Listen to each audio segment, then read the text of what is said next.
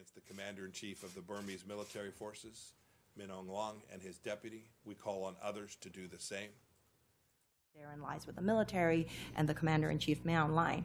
However, on the other hand of that is the fact that the divergence